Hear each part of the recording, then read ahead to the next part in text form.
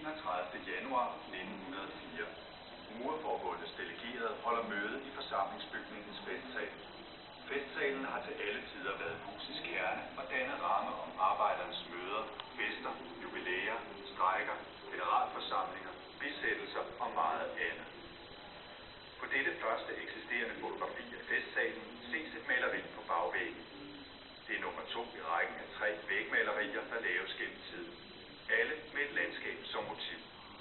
Vægmaleriet er lavet af teatermaler Karl Lund, der landskaber.